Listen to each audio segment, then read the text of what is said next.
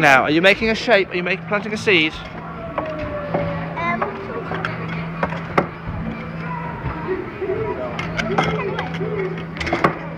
going to do that one.